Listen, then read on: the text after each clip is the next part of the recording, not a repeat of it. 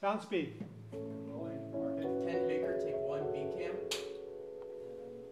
Ready? Give it everything. Action. The idea for the wedding dress came about um, one day when I was thinking about the nature of love. And I was thinking about, well, what is the nature of our love between a man and a woman? And is that similar, is the same thing between a man and a man and a woman and a woman? And so I started to think about that and explore that.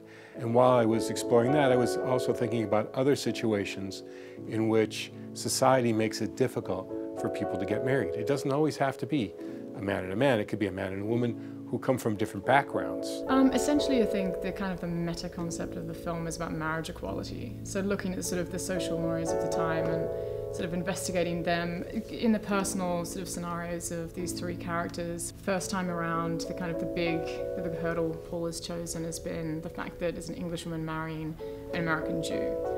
Um, second time around, we have two lesbians in love and, and unable to obviously married, being in 1967. And then the th- and the third one round is the kind of the social sort of question of, of a, a young American girl marrying an illegal immigrant. I wanted to tie these eras together.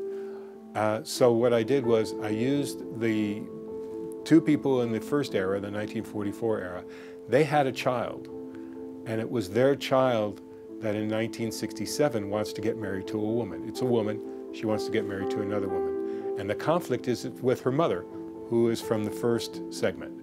And then in 2014, that same woman is now an adult. She's had all those opportunities.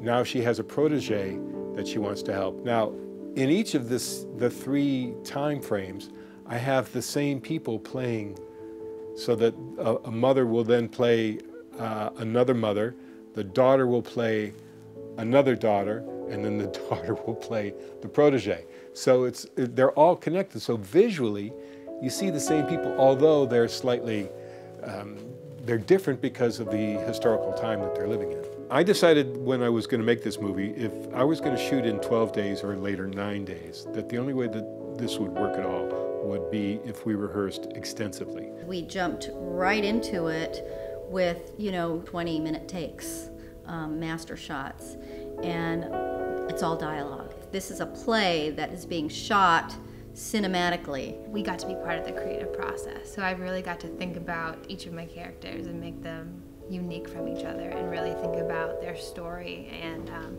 how they fit into the story. I was excited to get an opportunity to play these two very different types of men and imbue them with two different lives uh, and two different, um, you know, different energies and different ways of being and, and existing. The big thing of all our lives is love and how we enter into it or engage in it or how we come out of it and how we're shaped by it.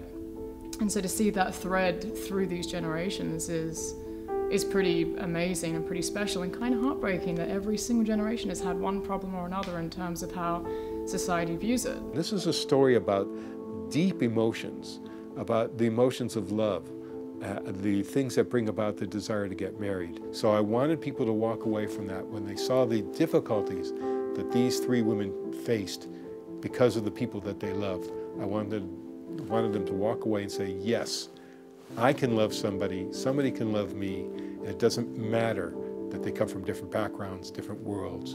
And the feeling that I wanted people to feel when they left there was it's okay to be in love with whoever you're in love with.